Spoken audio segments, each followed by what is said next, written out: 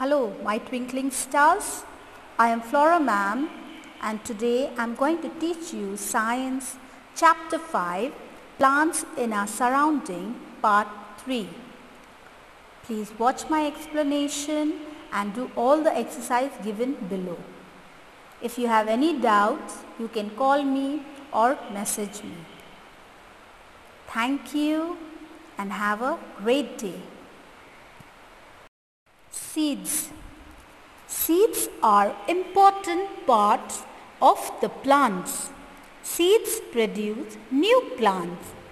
Seeds of some plants are tiny while seeds of some other plants are big. Seeds can be round or flat. They can be of different shapes, size, colors and textures. So dear children, seeds are very important part of a plant. Okay? To grow a plant you need a seed. Seed produce new plant. So seeds can be in different shape, size, colors. Okay? It can be round, it can be flat, it can be long, it can be yellow in color, green in color, black in color, white in color. Okay? Seeds have a protective outer coat called seed coat. The seed coat is generally hard. It protects the seed. Inside the seed, a tiny plant called embryo is present. The tiny plant inside the seed starts growing into a new plant when it receives enough water, sunlight, air and warmth.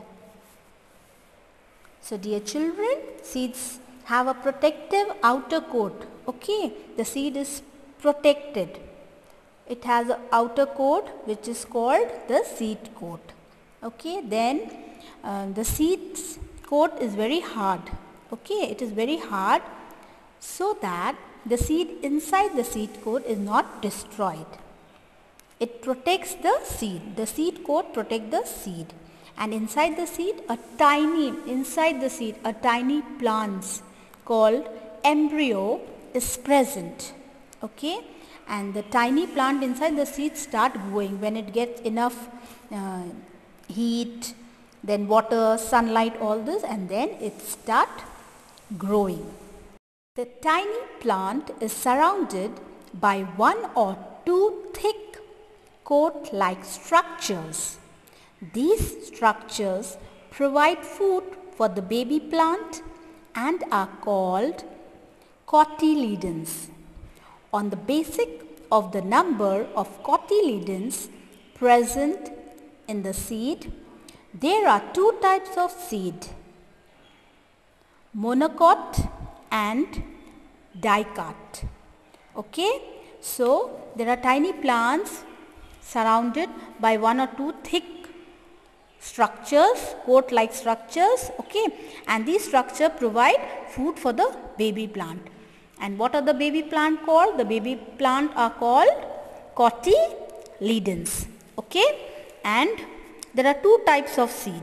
One is monocot, okay, one is monocot seeds, for example, maize, rice and grass and dicot seeds, for example, pea, bean and gram. Okay?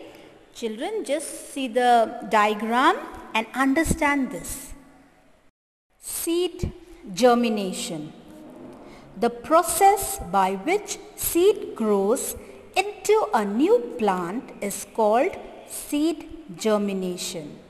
When a seed receives warmth, water and air, the baby plant inside the seed starts to grow.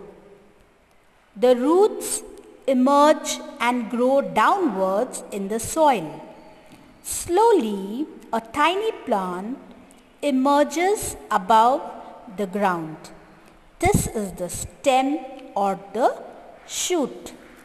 So the process by which seed grows into a new plant is called germination. Okay.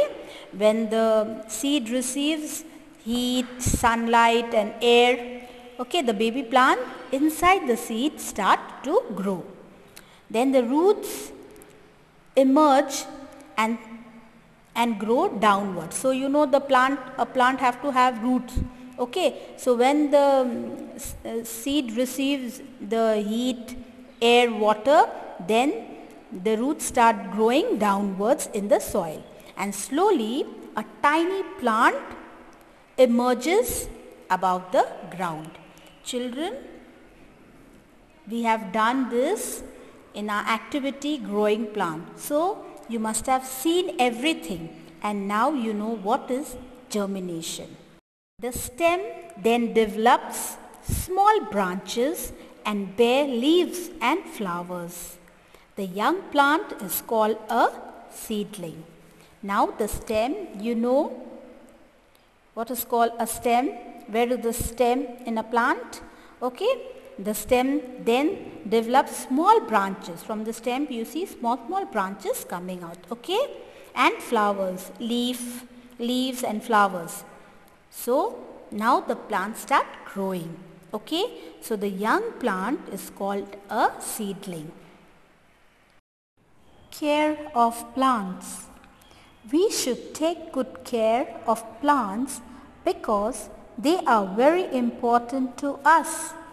They give us food to eat, fibers to make clothes and wood to build houses.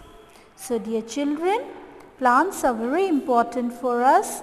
We need to take care of them and they give us food to eat, fibers to make clothes and wood to build houses. Also give us oxygen to breathe. Many animals live in on plants.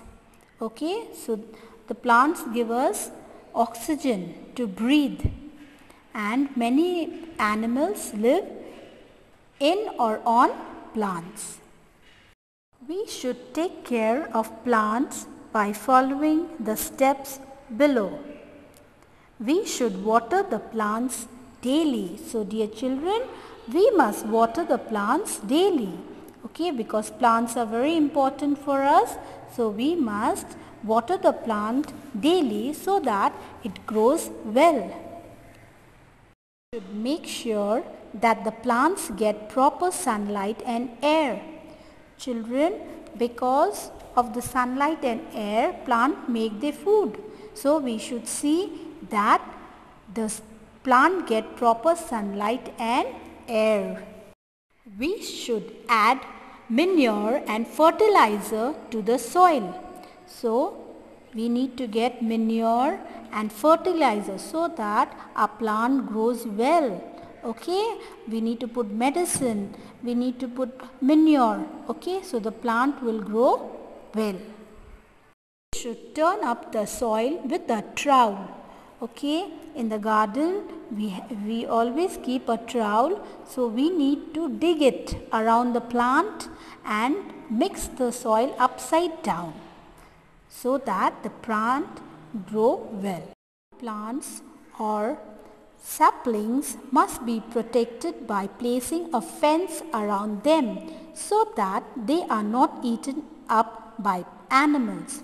So when we put a small, a young plant in a garden, okay, or in a compound, we should put a fence, a fencing, we should cover it so that no other animal come and eat it. So we need to take care of the plant. And trees are our true friends. So we must take good care of them. So dear children, plants and trees are our friends. So we need to take care of them. Okay, we need to water them. We need to see that they are getting sufficient sunlight. Okay, because plant gives us oxygen. So we need to take care they give us food to food they give us oxygen so they are our friends so we need to take care of them okay dear children Now we end this chapter here. Go through the chapter, read the chapter and do all the exercise given below. Thank you.